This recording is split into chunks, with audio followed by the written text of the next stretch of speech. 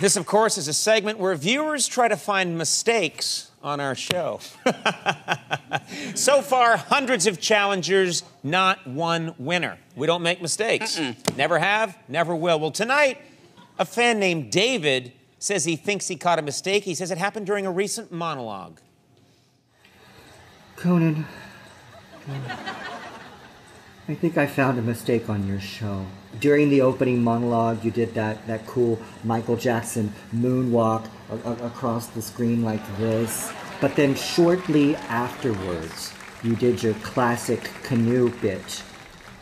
But when you turned back to face the audience, you pulled the oar across the front of you. Conan, that's not how water works.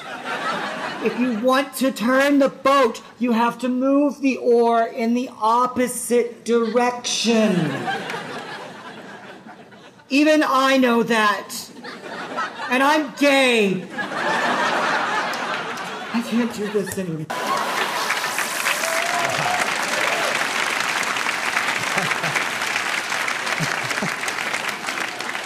Well, no offense, David, but just because you're gay doesn't mean you're not wrong. I was paddling correctly. Here to back me up is paddling expert and gay icon George Takei.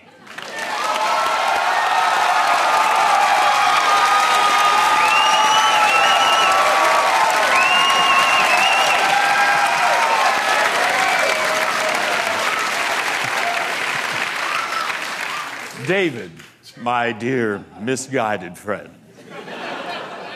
I'm afraid you don't understand the basic principles of nature. You see, water works differently for straight people.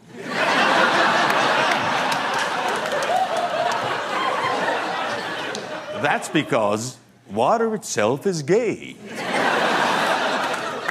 We wouldn't have raindrops or oceans if water didn't like to bind to itself. the fact.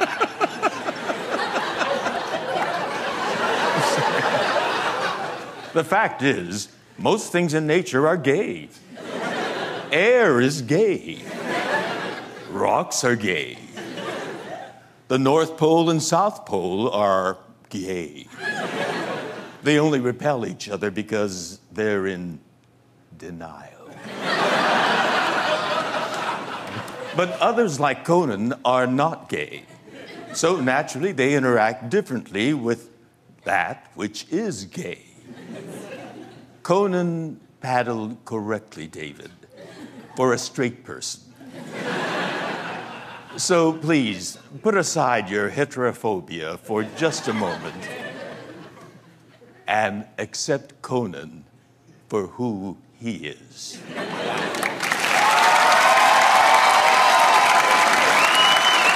George Takei, everybody!